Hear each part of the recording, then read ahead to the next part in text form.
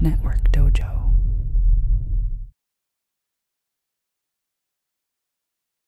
Hey, Jeff Rensink here from Network Dojo, and this video is going to be an overview of the Enterprise Core Exam from Cisco number 350-401. So first of all, uh, what is the ENCOR or Enterprise Core Exam and why should you care? Well, this is a professional level Cisco written exam, and the little asterisk next to the professional level is just because not only is it valid for professional level certifications, it's also valid for expert level lab attempts as well. And so it's sort of this almost in between uh, type of an exam, but it being a required exam for the professional level certifications, I call it a professional level exam. There's kind of three main use cases that you're going to use this exam for. Number one, it is a required exam to achieve the CCNP Enterprise certification. You have to pass two exams to get that certification. This is the required exam, and then you have an, uh, a choice of optional uh, concentration exams on top of it. It is a required exam to take the CCIE Enterprise Infrastructure or CCIE Enterprise Wireless Lab exam. So if you have uh, hopes to take the lab exam for either one of those two tracks, this is the qualifying written exam that allows you to schedule the lab exam. And finally, we can use this for recertifying existing certifications. It would be worth 80 points if you pass this exam. So that would be enough to single-handedly recertify any CCNA or CCNP level certification. CCNA, I believe, needs 40 points. Um, 30 or 40 points. CCNP needs 80 points. So you're good for all of those levels by just passing one exam. And if you're looking to recertify a CCIE level certification, um, it gets you 80 out of your 120 points that you need, leaving only 40 more points by passing some other exam or continuing education credits or, or whatever you need. So it's a really great exam to do a lot of great things. So some details about this exam. So this is a proctored exam. You will be either attending a physical location with the proctor or going through the OnVUE online proctored certification process. Either way, you're being watched. Uh, the cost is $400 US. I believe this is the case um, everywhere in the world. You'll be given two full hours to complete the exam. Now, Cisco does not publish the number of questions, and the number of questions in your exam could be slightly different. So it's not like there's always X amount of questions every single time. But combing through the internet and based off of my own personal experience, a range of somewhere between 100 to 105 seems to be pr a pretty common number range there. There is also no advertised passing score. When you sit down to take the exam, you will be told what the passing score for your particular exam is. But again, combing through the internet, personal experience, 825 seems to be a pretty common number. What does that mean? I'll I'll, I'll give you an estimate uh, a little bit later because that's just a sort of an arbitrary number at this point, right? Now, once you do pass the Enterprise Core exam, that exam will be valid for three years to either help you achieve the CCNP Enterprise certification or allow you to take the CCIE Enterprise Infrastructure or uh, CCIE Enterprise Wireless labs. You get three full years of this helping you out for either one of those two use cases. All of the questions that you're going to get inside the Enterprise Core exam are non interactive in that there is no simulation type exams. You're never typing in answers or you know trying to configure anything yourself in a GUI or, or something like that. Um, everything is going to be either multiple choice with one single answer allowed, and usually there's um, if you've ever taken a Cisco exam, you kind of know this. There's usually four answers to choose from more often than not. You're going to choose one or you got the multiple choice multiple answer where there's again very often you have four possible answers to choose from and they'll tell you how many correct answers there are to select. It's probably two maybe it's three but on a multi-answer with only four possible solutions you're not usually choosing too much more than two. And then we have uh, drag and drops and those can come in many uh, different formats. You know for instance like a categorization uh, type format you might uh, you know, drag over all things that describe this protocol or have to do with this protocol. Or it could be um, like an order type of thing, you know, rearrange these things in a particular order you know, um, you know, prioritization type order would be a good example of that. And there's lots of places where prioritization can come into play. Um, I've even seen things like, uh, hey, drag and drop some keywords into commands. And so, you know, maybe there's a, a number of lines of configurations and, you know, there's some blank spots in the lines and you just need to take some of the keywords that you find down below, choose appropriate ones and put them in the appropriate spots in the command. So lots of possible ways that they can do drag and drop, but that's, that is a type of a question that you're going to go ahead and see. As far as the blueprint goes, why don't we go ahead and jump on that here. So here we have um, the, the blueprint from Cisco. If you go to learningnetwork.cisco.com, um, once you're in here, simply go under communities and we would look for, not communities, I'm sorry, uh, certifications. And you want to see the CCNP Enterprise. And from here, it's going to show you all of the possible exams that go into this certification. What we're looking at is right up at the top. You go into exam topics. And then inside here, you can either look at it within here, expanding out, or you can download a PDF right from there. So we can see we have six overall sections. And there's a weighting on each section. So you can kind of see, okay, well, in the grand scheme of the exams, you know, expect 15% to, to do with automation, expect 20% to do with security. So that's the weighting of those. And then they dig into individual uh, topics here. So I'm not going to go ahead and just read through everything. But one thing I do want to point out as you look through the blueprints here, and maybe you hadn't really paid attention if you've taken other Cisco exams, but notice there's always like a verb that starts things off. Explain, analyze, differentiate. If I come down here, configure. What else? Troubleshoot. So you, you'll see these different verbs. And when you look at the verbs, it kind of gives you an idea of okay, do I just need general information about these different topics? I call it these uh, like trivia related information. They're kind of just little facts that you memorize, and then you can use those facts to answer questions. Or are you actually going to need to know how to configure something, how to verify something, what can go right, what can go wrong with those. And that and the keywords here will often tell you the types of information that you're going to need to know. So for instance, if you see configure, not only do you need to know per se what VRFs are, what GRE and IP tunneling, or sorry, IPsec tunneling looks like, you're going to need to know some of the configs that go along with it. And oftentimes, if, if there's config, there's also verify that goes along with that as well. So yes, you're not applying configurations in the exam, but absolutely they can show you configurations.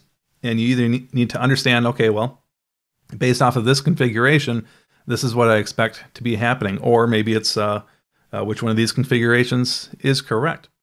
So that'll kind of identify the type of knowledge you need for each of the different uh, topics that show up underneath this list here. So absolutely uh, give it a read through, and that's going to give you a really good uh, idea about the types of things you're going to need to know and what types of knowledge for those specific things you need to know for the exam. So some of my observations um, from having taken the exam, I took the exam um, in August 2021, I believe was the the month that I took this exam. It wasn't all that long ago for me at the moment. Um, so one, uh, they did a decent job at spreading out questions across um, the blueprint sections based on those weightings. So, indeed, when you look at the weightings of the different uh, six high level sections, I feel like there was a, a reasonably um, accurate percentage of questions in each one of those uh, high level sections. I would also say that they did a pretty decent job at having questions addressing most of the individual topics within the sections. And so uh, it's not like you are going to you know come in here and be like, okay, well, there's uh, 10% of this has to do with virtualization, but um, you know, if there's a little over 100 questions, let's just say that there's 100 questions. It's not like they did nine questions on this one subtopic and then there was one question about something else. They did a fairly good job at you know making sure that there was questions about you know most each individual thing going down the list here. So um, expect to see most every blueprint topic probably represented by one potentially two or three, just depending on uh, the topic and if it had subtopics or whatever. Um, expect to see at least a question about almost every last bullet point on this list here. I would say for most people, time is not going to be an issue. Now we have a 220 minutes. We have a low number of 100, you know, 100 to 105 type questions. you have over a minute for each individual question. And since you're not doing configurations, you know, some questions might take a little bit longer because you are having to analyze, you know, maybe a diagram, some configuration, maybe some uh, code or, or something like that on some of the automation type questions. Sure. But then again, some of the questions are, you know, one or two sentences, pretty obvious type, uh, you know, you either know the answer or you don't. You can move on. And so it, I would say it's probably pretty rare that you're going to run out of time. I, um, uh, I wasn't able to complete the exam because I was doing the online version of the exam and I ran into technical issues. And my exam actually ended with uh, about 20 questions left to go, although surprisingly enough, I still answered enough right to, to pass the exam. Um, so I didn't actually get to go all the way to the end of the exam. But at that mark, I had basically almost a full hour left at the end. So time absolutely was never going to be a problem for me. And I don't think most people will have a problem with time. Uh, a few of the negatives with the exam. I mean, not everything's roses, right? So most of the the issues in the exam are, are fairly common across most every Cisco written exam if you've ever taken one in the past. There's always going to be a few questions that could have been written better, right?